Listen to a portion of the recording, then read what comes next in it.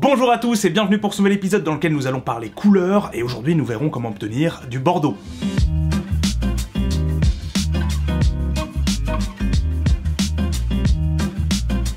Je prépare donc ma palette et pendant ce temps, parlons un peu de notre couleur bordeaux. Il s'agit d'un champ chromatique qui regroupe des teintes rouge sombre, tirant même parfois très légèrement sur le violet.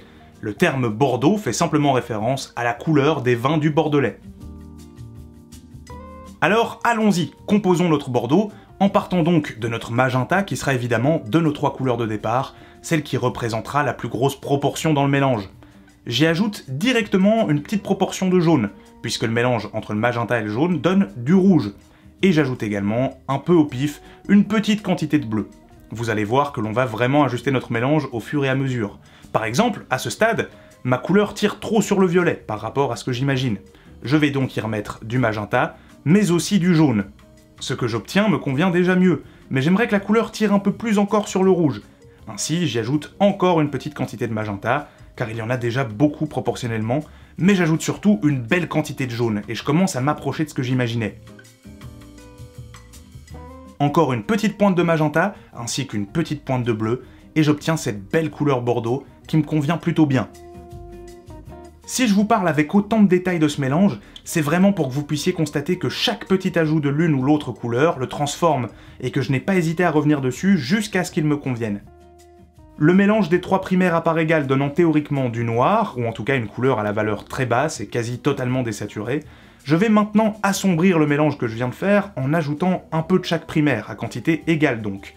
Et l'on voit bien que j'obtiens une couleur plus sombre.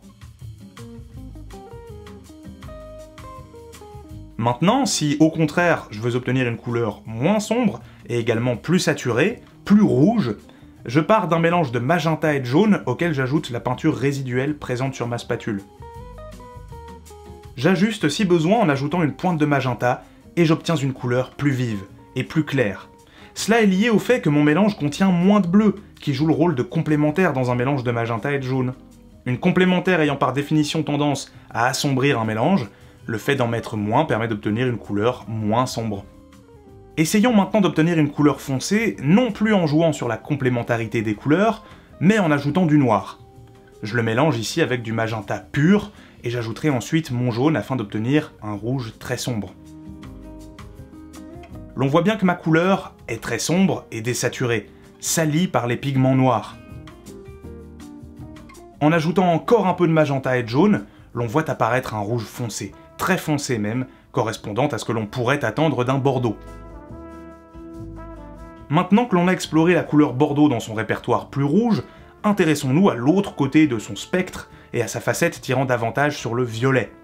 Pour ce faire, je commence par mélanger du bleu et du magenta afin d'obtenir un violet.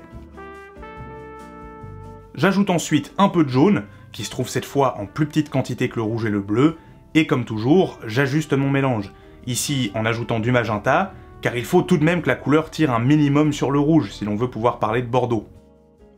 Je décide d'ailleurs de partir de ce même mélange, mais d'y ajouter une belle proportion de magenta et de jaune, afin d'obtenir une nuance qui correspond très bien à ce que j'attends d'un Bordeaux, et qui ressemble d'ailleurs au tout premier mélange que l'on a réalisé. Pourquoi pas, en partant de ce dernier mélange, tenter d'obtenir un Bordeaux clair avec l'ajout de blanc Je n'en mets pas trop afin de ne pas obtenir un rose pastel trop clair, mais bien un entre-deux, évidemment plus pastel, mais conservant un peu du caractère Bordeaux. Je commence à présent un autre mélange que je veux plus éclatant encore, et préservant un peu plus l'intégrité de mon magenta. Je n'ajoute que très peu de jaune, et l'on voit tout de suite que ce nouveau mélange est plus rouge, plus rose même que celui qui se trouve à sa gauche, qui est plus orangé. Maintenant, je repars sur un mélange que je veux très foncé, sans l'ajout de noir.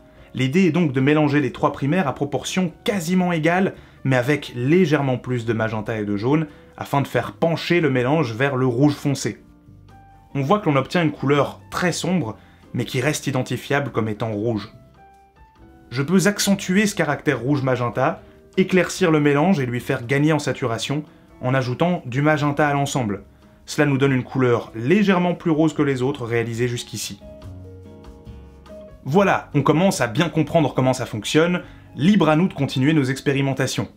Ici, je repars sur un mélange des trois primaires, et j'obtiens assez vite un bordeaux qui tire bien sur le rouge et le magenta.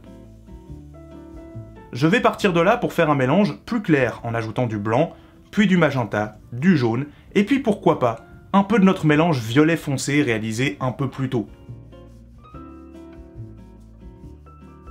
Cela donne un résultat très rose, donc juste à côté, je réalise un mélange entre ce rose et du jaune, que je fonce en récupérant un peu du mélange très foncé se trouvant juste au-dessus. Je n'hésite pas à revenir sur certains mélanges pour expérimenter, tester, modifier certaines nuances. Ici, en ajoutant du magenta à ce mélange qui tirait sur le violet foncé, par exemple. Je récupère un peu du résultat obtenu que je mélange ensuite avec du noir, et j'obtiens une couleur très foncée. En y ajoutant du blanc, j'obtiens une couleur désaturée, plus grise, c'est ce qui se passe forcément lorsque l'on ajoute blanc et noir à une couleur.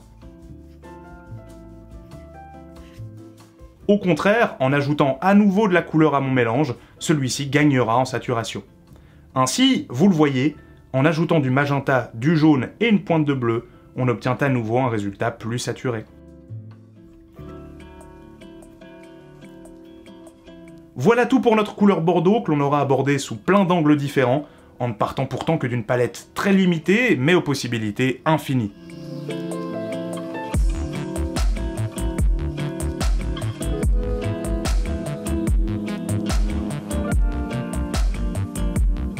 J'espère que tout cela vous aura plu, si c'est le cas, eh bien n'abusez pas trop du Bordeaux, par contre n'hésitez pas à liker, commenter et partager cette vidéo sans modération. N'oubliez pas non plus de vous abonner si ça n'est déjà fait en activant la petite cloche des notifications pour être sûr de ne rien manquer. Moi j'ai déjà hâte de vous retrouver, en attendant je vous dis à la prochaine et je vous fais de gros bisous